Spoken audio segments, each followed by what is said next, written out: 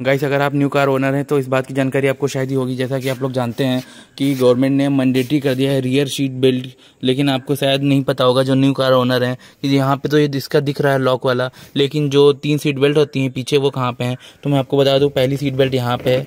इधर से आप इसको ओपन कर सकते हैं। दूसरी सीट बेल्ट भी उधर ही है। जो तीसरी सीट बेल्ट है, वो यहीं से निकलती है। आपको बस क्या करना होता है, इसको ओपन करना होता है जो आपको ये दिख रहा है, ये। ये देखिए इसको यहाँ से निकाल लेना होता है। Thank you guys